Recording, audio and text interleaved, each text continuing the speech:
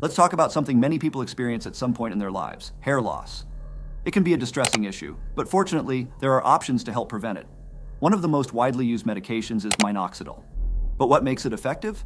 Minoxidil works by dilating the blood vessels around your hair follicles. Imagine your hair follicles as little plants in a garden. For them to thrive, they need nutrients and oxygen, just like plants need water and sunlight.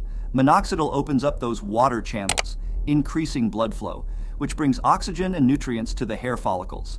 As a result, your hair grows longer, stronger, and most importantly, it reduces hair loss. Now, how do you use it?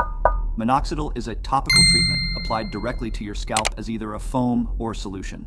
Most people start with a 5% solution, applied once a day. You don't need a prescription for this, at least in the United States, making it accessible for many. What about side effects? Since it's applied locally and not taken as a pill, the amount absorbed into your bloodstream is minimal. This makes the side effects pretty rare and usually mild.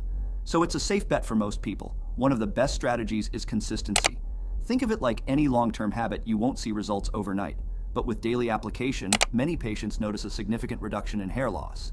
And once you start seeing those results, you'll likely want to keep up the routine to maintain that progress. And here's a little story. Someone once reached out to a company offering an oil they claimed was made from rare herbs deep in the Amazon forest.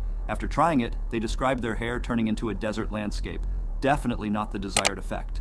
This story reminds us that not all treatments are backed by science, unlike minoxidil, which is well researched and widely used. So, if you're looking to fight hair loss, starting with topical minoxidil at 5% once a day is a solid science backed approach. Keep at it and watch the progress unfold.